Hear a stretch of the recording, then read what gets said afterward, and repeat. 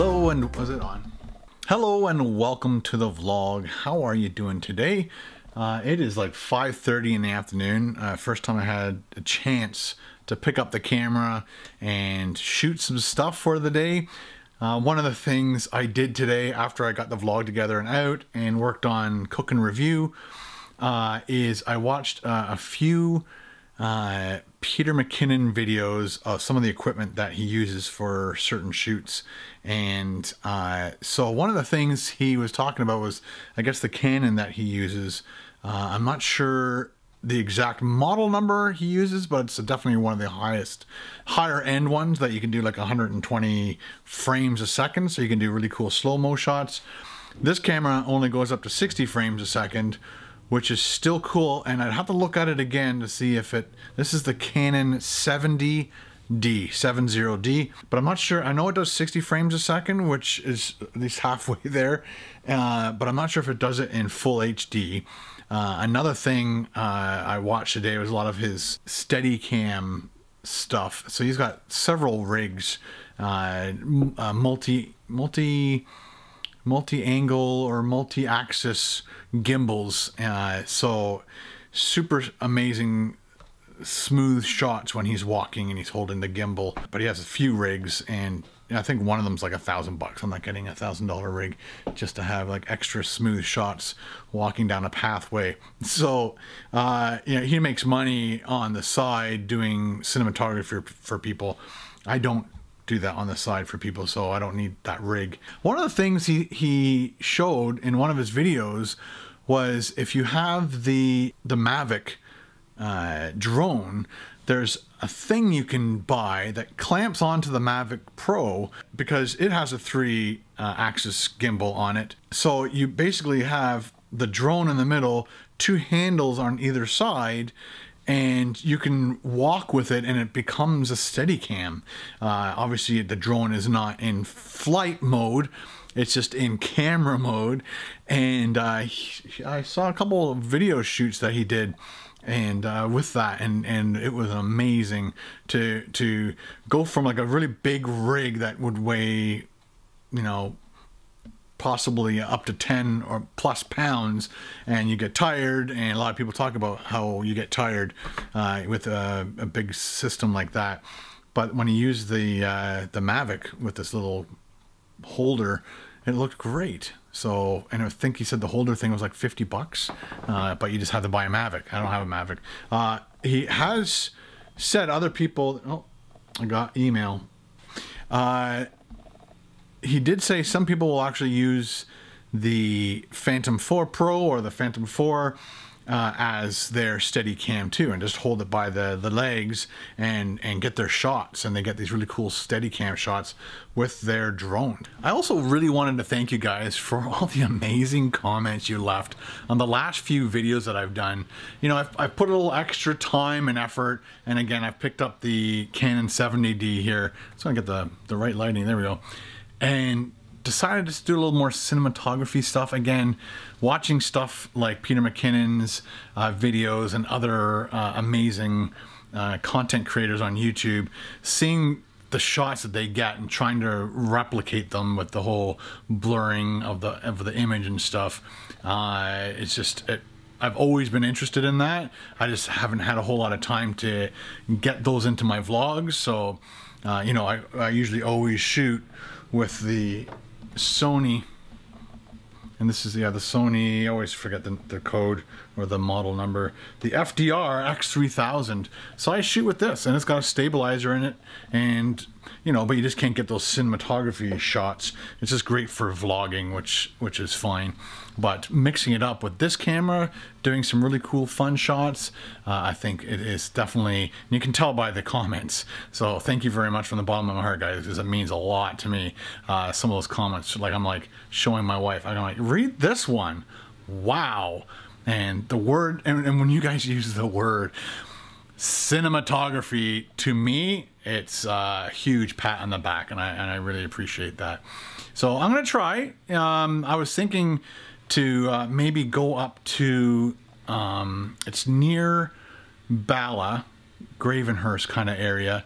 And there's a place up there that does cranberries. And I'm not sure if a lot of people know where cranberries come from, but this is a, a farm that just does cranberries. And of course, then they sell all the gamut of cranberry items from candles to just bags of cranberries. And you can buy them fresh or frozen or made into jellies and jams and all kinds of stuff. So I was thinking of contacting them and asking them if I can come up. So I'll either do that tomorrow is Wednesday. Yeah, because it is Tuesday. Uh, tomorrow or Thursday. Maybe tomorrow. I definitely have to do a food review for for Friday, and I, I still have to do that stuffed chicken, cheese stuffed chicken deep fried goodness from uh, Hot Star. And thanks for telling me that it's a, it's a big chain, so because I didn't know that. Anyway, so again, trying to find local things and maybe two to three times a week get my ass out of the house, go shoot something, make it really fun and interesting, uh, interview people, and because I don't know anything about cranberries, so I'm gonna have to interview somebody, and they can just fill me in, whether they're in the video or not. I just need their voice speaking on, you know, how long they've been in business, and how many cranberries do you guys grow a year, and, and how big is the area that you need? Because it looks, I think they actually grow on water uh, in these big, huge pools. So. Uh, yeah, that's what I'm planning for the future. But uh, yeah, doing vlogs with this camera is uh, very, very hard because it gets really heavy. Um, let me just do a quick shot. Let me just turn this camera on. There we go. Now it's rolling. Okay. So this is the camera rig I'm holding right now. So a lot of vloggers use this style of camera rig and uh, so right now I'm just using this camera to shoot this camera so you guys can see. Just holding that up for four minutes now is my shoulder is getting quite sore. So yeah. You're not going to be doing long vlogs maybe with this arm. My arms will get bigger. Yeah I don't have to work out anymore so right now I'm just waiting for Carol to come home. She went uh, grocery shopping right after work. She works till 4 and it is now 20 to 6. So she should be pulling in the driveway any second. And uh, I'll help her unload this and we'll, we'll start cooking dinner.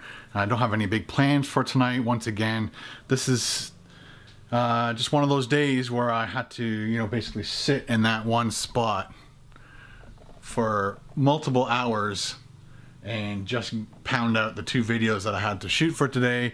I did a live show on YouNow while I washed the dishes. Thanks to everybody for, for popping by. And uh, yeah, so that's all the vlog I have for you guys today. Um, look forward to the cranberry thing. I'm hoping that they're still harvesting the cranberries. I really wanted to do this maybe a week ago when they were, when I did read something on the on the in the newspaper or something that uh, the cranberry place was harvesting their cranberries. So uh, look forward to stuff like that in the near future. Uh, I'm not going to promise anything, but I'm going to try really hard because I want you guys. Uh, I, I'm now craving those amazing comments from you guys. So I'm going to continue making cool content so I can get those comments and make myself feel good, make videos to make you guys feel good, and it's a nice symbiont, I guess, type of relationship between vlogger and vlogette. I don't know what you guys would be called. Viewers, between vlogger and viewer. Hey guys, this is my neighbor Steve. How are you?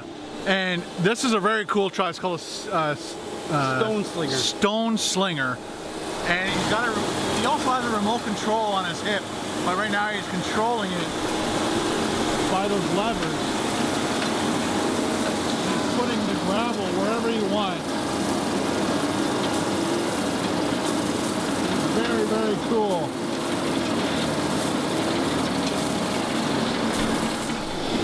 So back in the day, you'd have to hire like 10 guys with wheelbarrows. Absolutely. Just, and he's got that level to a T at the back. You and don't even have to level it basically. Because he just and he just like and he puts it anywhere. How far can they actually sling that? Um, something like uh, 15 to 18 feet. He wow. just turns the power up. Right. And I I don't know how many ton he's got on there. I ordered it for that. We got extra. That's why I'm getting them to. Nice. Yeah.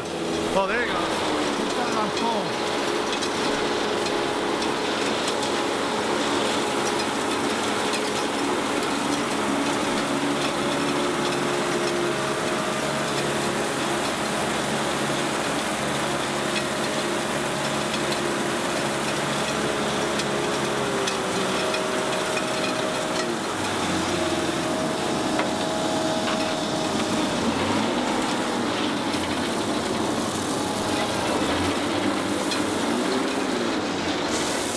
Unbelievable.